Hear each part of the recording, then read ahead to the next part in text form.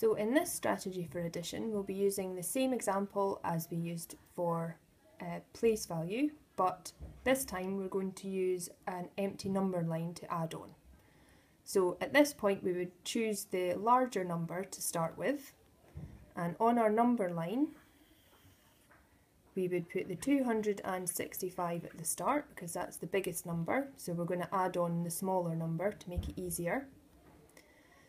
Again, Knowledge of place value is important because the 138, you're going to split that into smaller pieces. So you might want to add on the 100 to start with, which would take the 265 up to 365.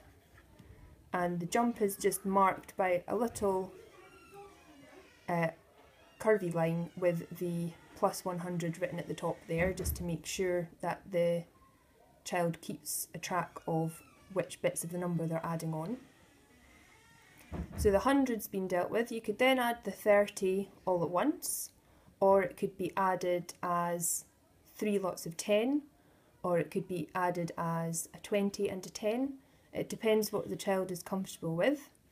But again, each number that you're adding on, you would just record at the top of each jump.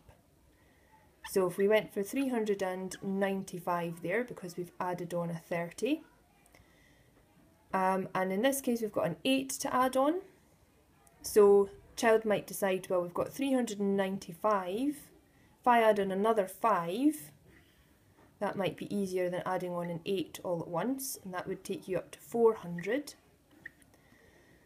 and you can see here you've got 135 that you've added on but you need to add 138 so you've got another 3 that needs to be added and that takes you up to the 403 at the end. Again it doesn't matter how many jumps are needed so if you wanted to break up the 100 or break up the 30 so long as by the end the 138 has been added on.